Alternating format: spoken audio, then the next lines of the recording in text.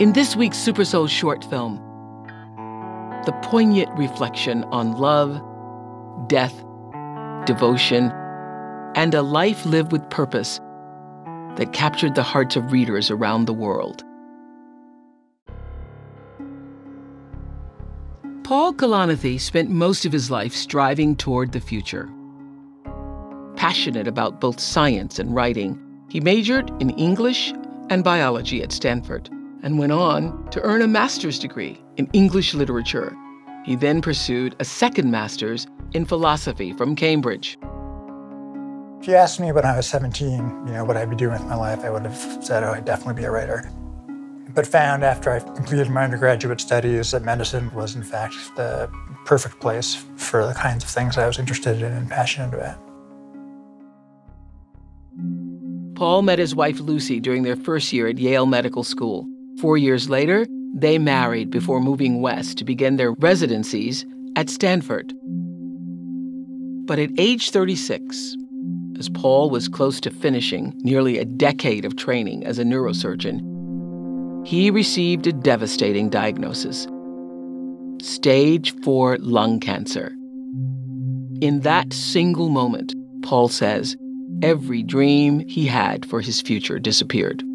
You're always thinking about five years down the line, what are you going to be doing? And that number has no meaning for me anymore.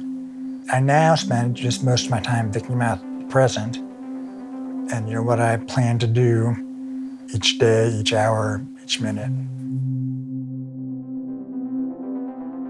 Clocks used to sort of rule everything are now kind of irrelevant to me having a terminal illness, you know, kind of forces you to think about your life and, and what matters to you.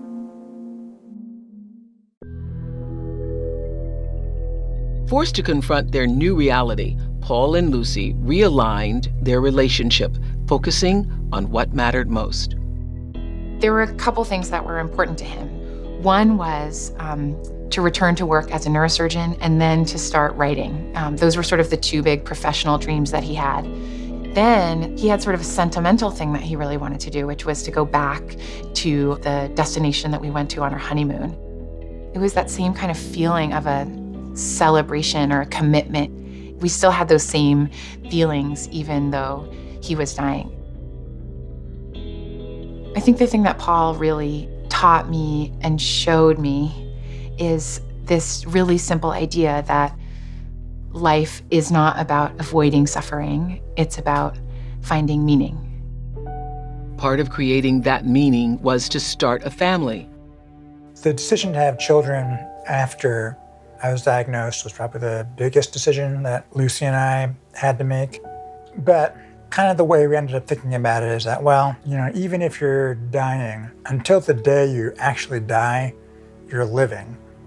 Uh, and for me, it was a, it was important to know that Lucy would have a family after I was gone. I asked him this question: Is it going to make the fact of dying even more painful for you? And he said this really amazing thing. He said, "Wouldn't it be great if it did make it more painful?" Paul and Lucy welcomed their daughter, Katie, on July 4th, 2014. Since Katie's birth, my time with her has had a, a very you know, peculiar and free nature. I mean, it's all sort of feels to me like uh, bonus time, you know, in the sense that, you know, in all probability, uh, I won't live long enough for her to remember me. But at the same time, every day is a, you know, exciting, rewarding, meaningful time to spend with her. Looking into those eyes um, feels like a real connection to Paul.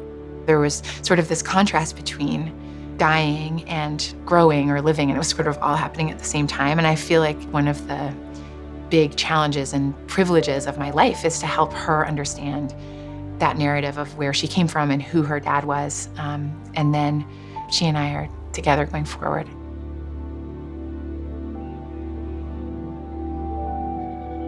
Paul Kalanithi died on March 9th, 2015, at the age of 37. His spirit and his wisdom live on in his New York Times best-selling memoir, When Breath Becomes Air.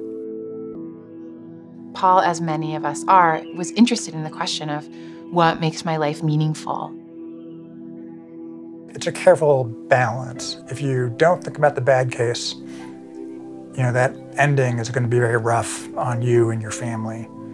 But if you don't think about the good case, you're going to miss an opportunity to really make the most out of out of your your life and time.